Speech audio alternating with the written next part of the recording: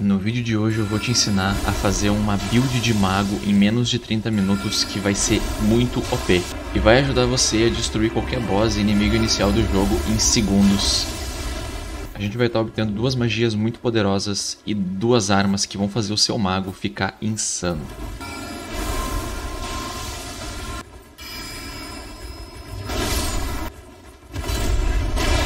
Bem-vindos mais uma vez a Elden Ring. E no vídeo de hoje, galera, eu vou estar trazendo alguns itens que vão fazer o seu mago ficar extremamente OP no início do jogo.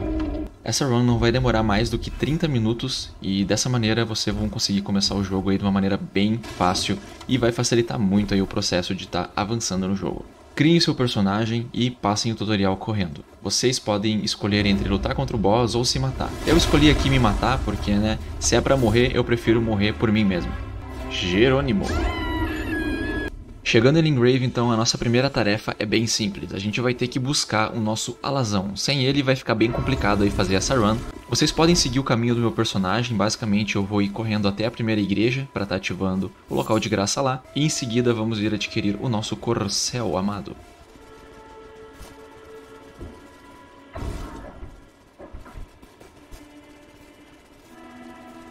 Chegando então no próximo local de graça, em frente ao portão das ruínas, a gente vai sentar no local de graça e vamos estar adquirindo o corcel.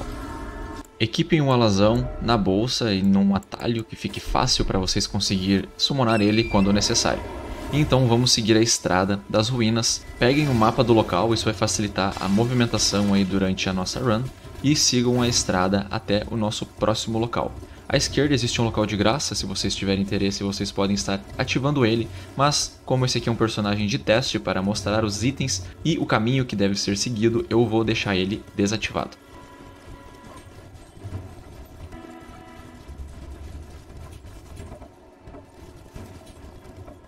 Nosso primeiro objetivo é chegar mais ou menos na seta azul, então coloquem a seta no mapa de vocês também e se locomovam até o local indicado no mapa. Isso vai facilitar para que vocês não se percam durante o caminho, uma vez que o mapa de Elden Ring é extremamente grande e diversos obstáculos vão se encontrar à sua frente. Andando um pouco mais, um novo local de graça vai ser avistado. Aqui já podemos abrir o mapa de novo e localizar o próximo mapa. Isso vai facilitar a nossa locomoção.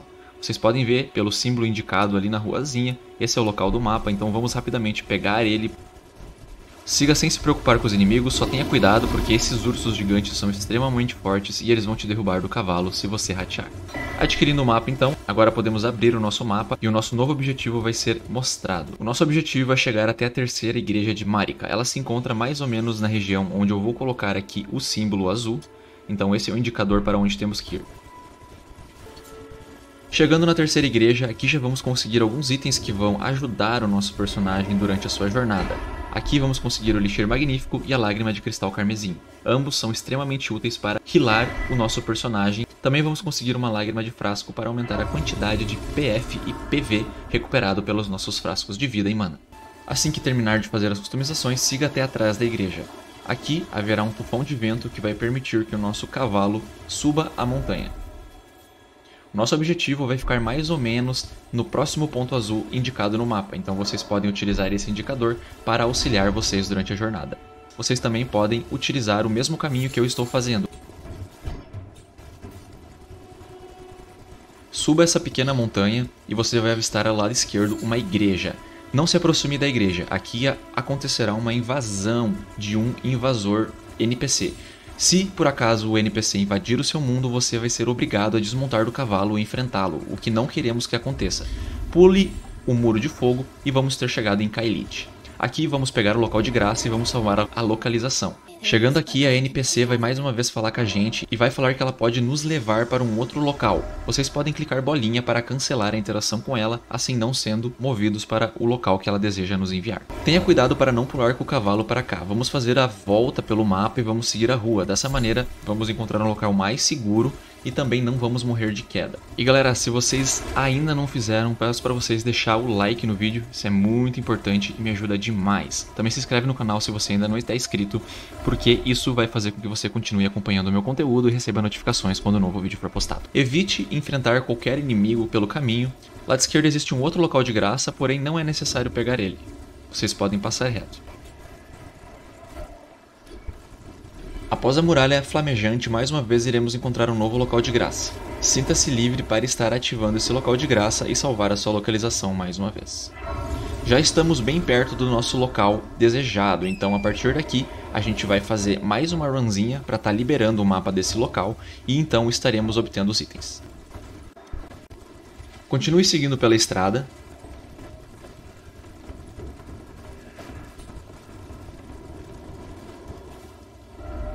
Abrindo o mapa já podemos ver qual é a localização do próximo fragmento, então vamos nos dirigir até lá para estar obtendo esse fragmento de mapa. Após obter o mapa, abra o seu mapa do mundo, remova todos os indicadores azuis que já foram colocados e vamos marcar agora quais são os quatro pontos que iremos explorar a fim de buscar os itens para o nosso mago. Vocês podem estar pausando o vídeo e estar botando os indicadores no mesmo local que eu.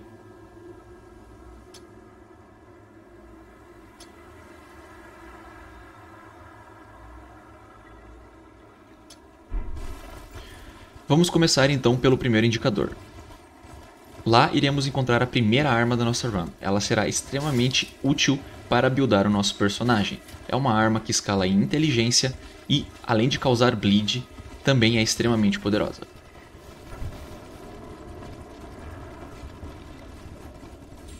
Nessa ruína vamos encontrar o primeiro equipamento. Tenha cuidado com os inimigos aqui, muitos deles possuem ataques à distância, então é importante se manter em movimento para não tomar nenhum hit. Como nosso personagem está num nível extremamente baixo, tomar dano aqui vai ser fatal. O equipamento vai se encontrar exatamente nessa escadinha então vamos sair do nosso cavalo, rolar para dentro rapidamente, evitando tomar qualquer ataque. Dentro dessa ruína existem vários inimigos, então corra até a porta que se encontra no fim dela Abra a porta rapidamente e role para dentro. Aqui um baú será encontrado. Podemos abrir ele e dentro dele vamos encontrar a nossa primeira arma. A lâmina de estrela cadente é o primeiro item da nossa run. Saia rapidamente, evite qualquer contato com inimigos, caso você morra não se preocupe, vamos voltar para a estátua mais próxima e seguir o nosso caminho. Eu consegui esquivar aqui de todos os ataques sem nenhum tipo de problema, então rapidamente saí e já acionei meu cavalo. Feito isso, vamos nos mover para o segundo ponto. Lá vamos estar obtendo um novo item para o nosso mago que vai ser de extrema ajuda. Os próximos itens vão se encontrar dentro do pântano, então eles estão até aqui bem perto um do outro. Aqui do lado esquerdo também existe um local de graça, se você tiver interesse, você pode estar parando e salvando esse local para facilitar a sua run. Essa queda é de veras alta, então tenha cuidado, você pode tentar pular em cima da árvore e cair lá embaixo. No meu caso, eu morri. Caso você morra assim como eu, não se preocupe, existe uma estaca de Marika por aí perto, então você pode renascer nela. Inclusive é até mais fácil fazer isso, já que uma vez você vai começar dentro do pântano e não vai precisar descer nele. Revivemos, agora então siga até o segundo ponto indicado no mapa, aqui vamos encontrar o próximo item. Dentro dessas ruínas existem diversos inimigos e um item na janela, não se preocupe, você pode pegar o item contornando a janela. Desmonte o seu cavalo e gentilmente no passinho do romano pegue o item encontrado na janela. Siga o caminho até o próximo local indicado. Existem alguns itens também aqui no pântano, se vocês tiverem interesse, vocês podem estar explorando, como por exemplo, esse traje e essa armadura do viajante. Chegando então no próximo local, a gente vai estar encontrando a próxima ruína que estaremos obtendo uma nova magia. Eu me enrolei um pouco para encontrar o local correto, mas aqui está. Abrindo a porta, encontraremos um novo baú. Esse aqui é exatamente o local do baú, então caso vocês não estejam achando e tiverem algum tipo de problema, vocês podem estar vendo a minha localização no mapa também. Funda de pedra então foi obtido e essa é uma magia extremamente poderosa, ainda mais combinado com o cajado que pegamos recentemente. Eu fui emboscado durante a jornada, então eu vou ter que morrer e renascer novamente para ir buscar o próximo item da nossa lista. Voltando à jornada, vamos continuar até o quarto ponto indicado no mapa. Lá encontraremos uma ruína com muitos inimigos, porém também teremos uma magia muito legal e alguns itens de refinamento, então vocês podem utilizar essa ida até a ruína para conseguir a magia e também conseguir esses refinamentos que vão ser muito úteis para estar aumentando os nossos equipamentos.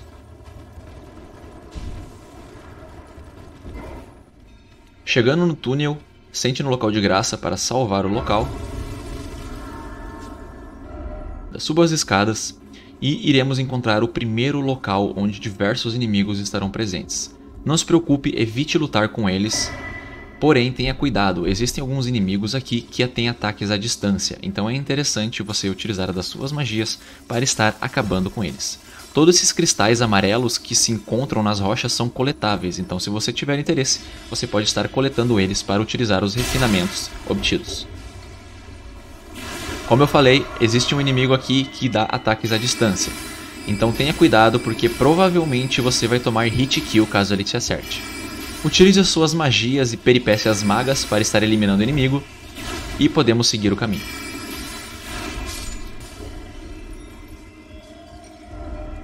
Dentro do baú, localizado dentro da casa, vamos encontrar uma pedra da gravidade e pedaço de pedra da gravidade. Agora teremos que pular em cima da cabana e continuar o caminho pela esquerda. Existe um item localizado ali em cima daquela pedaço de madeira. Se você conseguir pular, você pode pegar ele. Caso contrário, siga adiante. Tenha cuidado, alguns inimigos vão rushar em você durante esse túnel. Suba as escadas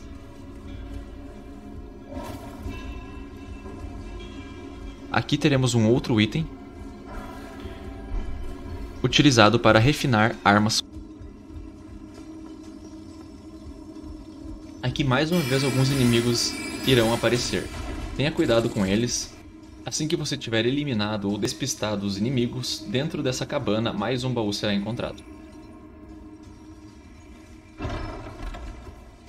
E aqui iremos obter a magia Explosão de Rocha. Sinta-se à vontade para continuar explorando a ruína, ainda que existem diversos itens que podem ser coletados. Vir aqui no early game vai com certeza facilitar o processo de upar o seu equipamento e vai deixar o seu personagem muito mais forte, além de estar obtendo todos os itens que já conquistamos até agora. Agora precisamos então equipar os itens que conquistamos, para isso precisamos upar de nível. Retorne até a terceira igreja de Marika, vá até a parte de trás dela, onde existe um lago e um espelho. Utilize o espelho para viajar para outra localização. Chegando na fenda de Dragoa Greyhole, evite iniciar uma luta com o boss que se encontra logo na frente e corra utilizando a estrada. Siga o caminho indicado pela estrada até chegar num galho dourado. Aqui iremos obter uma semente dourada que será utilizada para upar o nosso frasco. Chegando na ponte, vamos avistar um local de graça. Desmonte seu cavalo e ative esse local de graça para salvar caso você morra. Volte para o seu cavalo Pocotó e se direcione à direita e vamos encontrar uma nova ponte. Você pode seguir costeando esse desfiladeiro para ter uma visão melhor e assim que encontrar um local mais tranquilo, pode estar caindo. Corra mais uma vez utilizando a estrada pelo meio das árvores. Cuidado, aqui existem diversas armadilhas de veneno, mas não se preocupem, utilizando o cavalo você não vai sofrer nenhum tipo de dano. Nessa ponte vamos enfrentar um boss, mas ele só aparece à noite. Então, para ativarmos a luta contra ele, vamos seguir até o local de graça que se encontra ali na frente, descansar e passar o tempo até que fique noite. Volte mais uma vez à ponte enquanto for noite e já podemos avistar o boss. Não vamos enfrentar ele, a gente vai usar a mecânica de poison do jogo para estar tá derrotando esse boss sem nenhum tipo de dificuldade. Agre o boss no seu personagem e tenha certeza de manter uma distância segura, mas não muito longe. Caso contrário, o boss vai perder a visão de você e vai retornar para a ponte. Corra entre as armadilhas de Poison, sempre olhando se o boss está te acompanhando.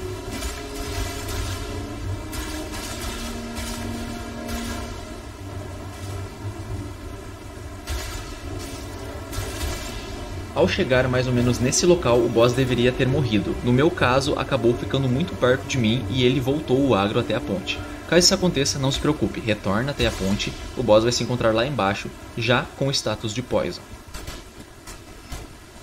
Mais uma vez, faça que ele o persiga durante as armadilhas.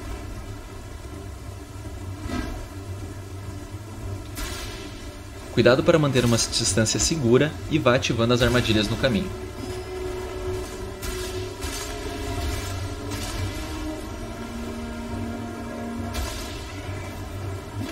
Assim que você chegar no topo, mais uma vez, o boss deverá ter sido derrotado a mensagem de inimigo derrotado vai aparecer e as almas do boss serão entregues até você.